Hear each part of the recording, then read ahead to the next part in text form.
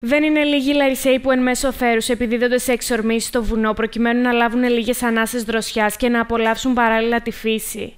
Ωστόσο, δεδομένου ότι πολλά ατυχήματα συμβαίνουν κατά τις εξορμήσεις των πολιτών, ο πρόεδρος του Ιατρικού Συλλόγου Λάρισας απευθύνει μια σειρά οδηγιών ώστε να αποφευχθούν πιθανά ατυχήματα. Όσον αφορά την πρόληψη των ατυχημάτων στο βουνό και ιδιαίτερα στα παιδιά, θα πρέπει να είμαστε ευαισθητοποιημένοι Υπάρχουν ε, οδηγίες από τον Ιατρικό Σύλλογο, έχουν εκδοθεί σε δελτίο τύπου πριν από λίγες μέρες. Πρώτα πρώτα θα πρέπει να φοράμε τον κατάλληλο ορθισμό και ιδιαίτερα τα κατάλληλα παπούτσια, μαζί βεβαίως με τον υπόλοιπο εξοπλισμό, να πηγαίνουμε σε ομάδες οι οποίες θα οδηγούνται από ανθρώπους έμπειρους που γνωρίζουν τα μονοπάτια και την πρόσβαση στο βουνό, να μην απομακρυνόμαστε ε, από την ομάδα χωρίς ε, λόγο.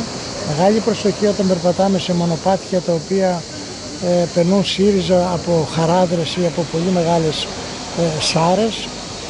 δεν πρέπει να προκαλούμε τα άγρια ζώα όταν ερχόμαστε σε επαφή μαζί τους γιατί είτε μπορεί να προστατεύουν τα παιδιά τους ή μπορεί να προστατεύουν την τροφή τους και τότε γίνονται ακόμα πιο άγρια ε, από ό,τι είναι και αυτό αφορά κυρίως λύκους, αρκούδες ή αγριογούρουνα. Δεν κάνουμε μπάνιο σε λίμνες και ποτάμια, ε, δεν πηγαίνουμε σε περιοχές οι οποίες έχουν και σήμανση κιόλας ε, όπου υπάρχουν πηγάδια και στέρνες. Μεγάλη προσοχή στα ερπετά, στα φίδια. δεν περπατάμε και δεν περνάμε μέσα από μεγάλα χορτάρια. Αν αυτό βέβαια είναι αναγκαίο τότε κάνουμε θόρυβο για να φύγουν τα ερπετά. Δεν βάζουμε τα χέρια και δεν σηκώνουμε μεγάλες πλάκες, ιδιαίτερα στα ξεροβούνια, για το λόγο ότι μπορεί κάτω, από κάτω να υπάρχουν ε, σκορπιοί. Ε, μεγάλη προσοχή σε καταιγίδες.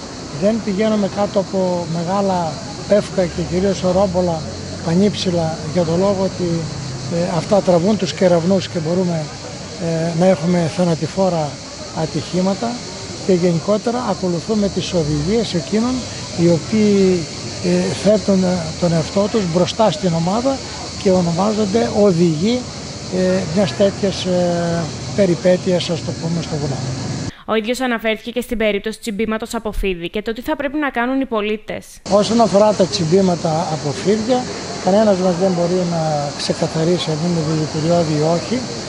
Έχουν εγκαταλειφθεί παλιές μέθοδοι, δηλαδή η περίδηση ε, πριν από το τσίμπημα ή ενδεχομένως με μια καρφίτσα ή μια βελόνια να τρυπάμε το μέρος του τσιμπήματος. Αυτά έχουν καταργηθεί. Ε, θα πρέπει σε κάθε περίπτωση να ζητήσουμε πρώτες βοήθειες στην πλησιέστερη δομή υγείας ή στον πλησιέστερο γιατρό ε, που διαθέτει φαρμακείο. Ορισμένα φίδια μπορεί να προκαλέσουν αλλεργικό σοκ ή διάχυτη εναγκιακή πήξη και καμιά φορά να επιφέρουν και το θάνατο. Βεβαίως στη χώρα μας δεν έχουμε τέτοιου είδους ε, φίδια. Η οχιά η οποία είναι μία από, αυτές τις, ε, από αυτά τα δηλητηριώδη φίδια μπορεί να προκαλέσει προβλήματα ή και νεκρώσεις ακόμα ε, άκρων. Εάν όμως αντιμετωπιστεί έγκαιρα νομίζω ότι κανένας δεν θα έχει πρόβλημα. Ο κ. Γιανακόπουλος επεσήμανε ότι οι εκδρομή θα πρέπει να είναι ιδιαίτερα προσεκτικοί και να ακολουθούν τις οδηγίες των ειδικών και των υπευθύνων της ομάδας σε περίπτωση που δεν γνωρίζουν.